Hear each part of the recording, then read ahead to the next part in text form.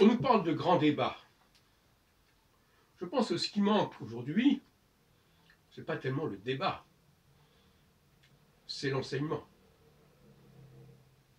Pour enseigner aux masses un certain de vérités. Alors, dans le débat, si vraiment il y a un débat, un échange, il est possible de faire passer certains messages. Moi-même, quand j'organise des débats, je, laisse parler les gens et après je corrige. Alors, il faut avoir le culot de corriger. Mais, comme par hasard, quand je corrige, les gens reconnaissent que ça, tient debout, les corrections. Ça, c'est le premier point. Que les gens aient confiance en la personne avec laquelle elles débattent et que ils se rendent compte que, euh, bon, finalement, euh, il y a des personnes tout en haut qui euh, savent de quoi ils parlent. Ce qui n'est pas forcément le cas des gens d'en bas. Donc il faut leur prendre, il faut, les prendre en flagrant délit de d'erreurs, de méconnaissance des, éléments, etc. Quand vous avez sapé leur morale, par des débats justement, des vrais débats, qui pourraient être organisés à, à tous les niveaux, par toutes sortes de députés, de représentants, etc. À partir de ce moment-là, vient le temps de l'enseignement. En corrigeant, après avoir corrigé un certain nombre d'erreurs de représentation. Une des erreurs les plus flagrantes, c'est évidemment de mettre sur le même pied euh, les contributions que l'on a pu faire à ce que Macron a appelé les premiers de cordée, et qui ne concernent qu'un très petit nombre de personnes,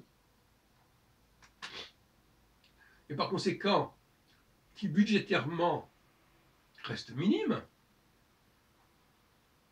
et les solutions à trouver pour améliorer le sort de millions, voire de dizaines de millions de personnes, et qui n'ont absolument pas la même échelle, la même proportion. C'est triste à dire, mais c'est comme ça. On ne peut pas résoudre, un gouvernement ne peut pas résoudre les problèmes de toute une population. Par contre, il peut encourager un certain nombre de personnes qui ont déjà un potentiel considérable à aller plus loin, sans que ça coûte à la France. Parce qu'il faut bien dire la chose comme ça, c'est pas ça qui va, c'est pas quelques centaines de millions qui vont euh, changer les choses. En revanche, quand Macron décide au début décembre d'accorder euh, 1000 euros par-ci, euh, par-là, il nous dit à la fin, ah oui, mais ça va coûter 10, 12 milliards d'euros.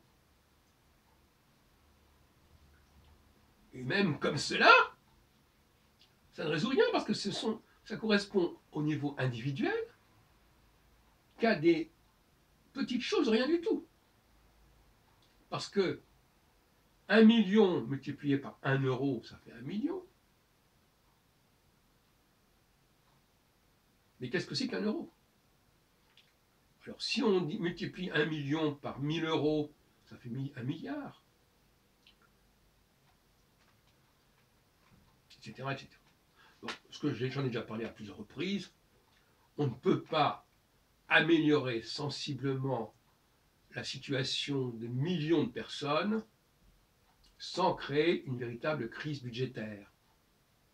Alors qu'on peut améliorer les rendements des plus doués et des plus entreprenants sans que cela perturbe le budget. Et bien pire, bien plus que ça, puisque ces rendements au niveau des compagnies cordées, non seulement ça ne perturbera pas le budget, mais de toute façon, ça fera rentrer de l'argent. Si les entreprises exportent mieux, par exemple, ou ont des concepts, des designs plus intéressants. Donc là, on peut comprendre que l'on prenne des dispositions de ce genre. Mais apparemment, Macron n'a pas su faire passer le message. Il n'a pas fait un dessin, un schéma clair de la situation et des problématiques que, devant lesquels se place le gouvernement. Je crois qu'il serait facile d'expliquer ça même à un enfant.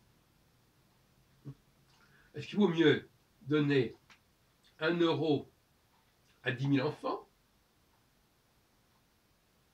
ou 10 000 euros à un enfant? Je plaisante, enfin, je veux dire, c'est à peu près ça. Ben, moi, je crois que les gens préfèrent effectivement qu'il y ait un des, un des 1000 qui gagne 10, euh, 000 euros.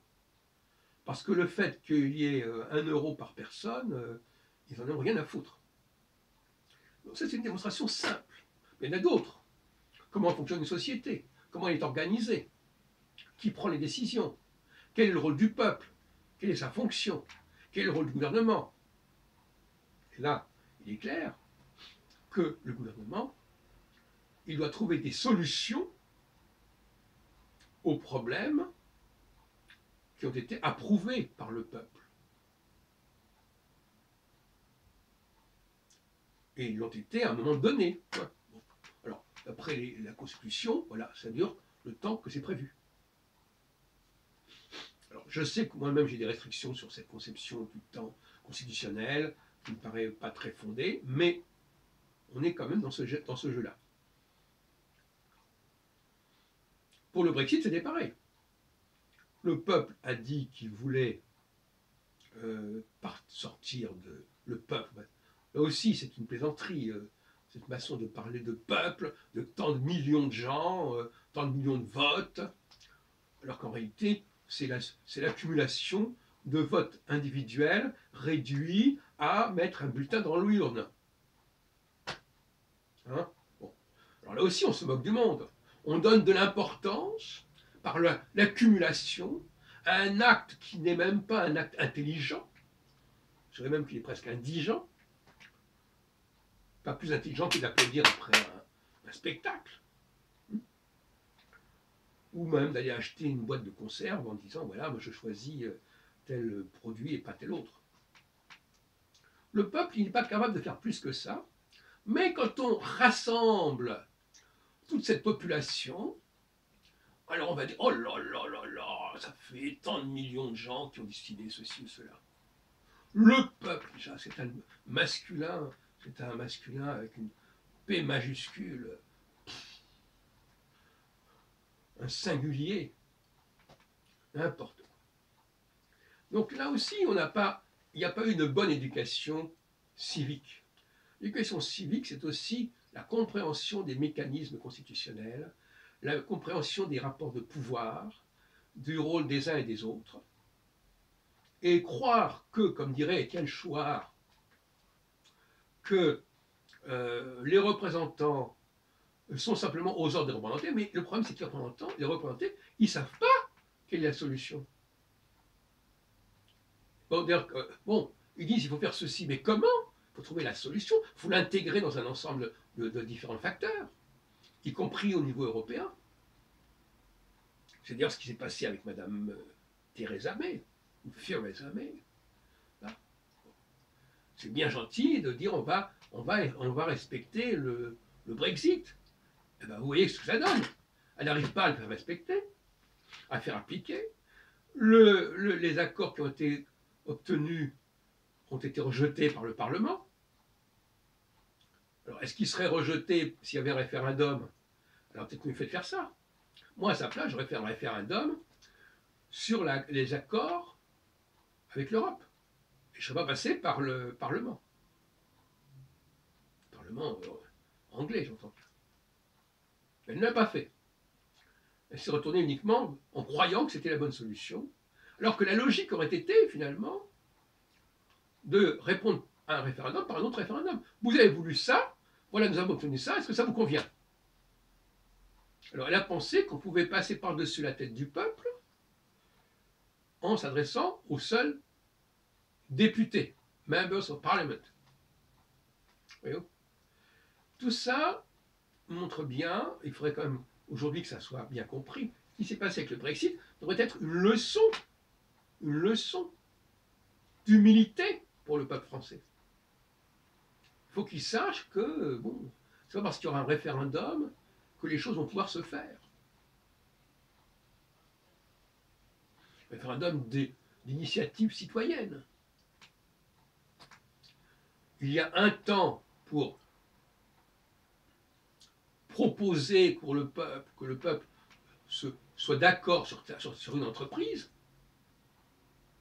Êtes-vous d'accord, je reviens sur le Brexit, pour que l'on engage des, propositions et des solutions pour la sortie, la sortie de la Grande-Bretagne Et une fois que l'accord avec l'Union européenne aura été obtenu, on redemande au pays s'il est d'accord ou pas. Ce qui peut d'ailleurs permettre, s'il y a un refus d'accord, on peut se poser des questions. En tout cas, je voudrais terminer là-dessus. Il faut il faut de l'éducation civique, de l'éducation politique, de l'éducation sociale, pour qu'on n'en arrive pas aux résultats lamentables que l'on voit. Et je dois reconnaître que de ce point de vue-là, je ne suis pas fier d'être français, parce que les Français montrent un manque de conscience politique, un manque de sérieux politique ahurissant et confondant.